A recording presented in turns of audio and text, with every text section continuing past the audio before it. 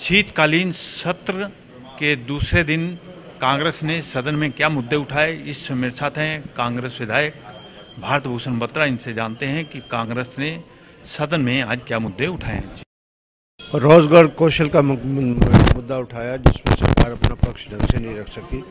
और जो, जो उसमें अनियमितताएँ हो रही हैं वो उन्होंने माना कि अनियमितता हो रही हैं। प्रॉपर्टी आईडी का इशू उठाया प्रॉपर्टी आईडी में लोगों को बहुत भ्रष्टाचार है चाहे कॉरपोरेशन हो चाहे म्यूनसिपल कमेटी हो और सभी अनियमितता उन्होंने मंत्री ने भी उसको एडमिट किया कि बहुत सारी कमियाँ और हैं हम उसको ठीक करेंगे। पत्रा जी आज ध्यान आकर्षण प्रस्ताव पर चर्चा हुई है। कांग्रेस ने क्या पक्ष रखा है? नहीं कांग्रेस ने तो दजियाँ उड़ाई हैं कांग्रेस ने तो उनकी उनका, उनके पास कोई जवाब ही नहीं था। उसके लिए प्रॉपर्टी आईडी वाले में तो वो एडमिट ही कर गए कि बड़ी गलतियाँ हुई हैं, सब कुछ गलतियाँ हुई हैं और लोगों को काफ़ी दिक्कत आ रही है और प्रॉपर्टी आईडी तो लगता है इन्होंने ऐसे बना लिया है कि ये ऑनरशिप राइट डिसाइड कर रहे हैं।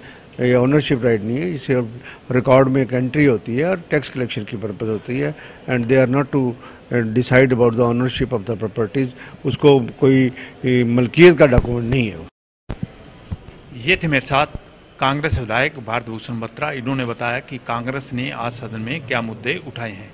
Anil Kumar total news Chandigarh.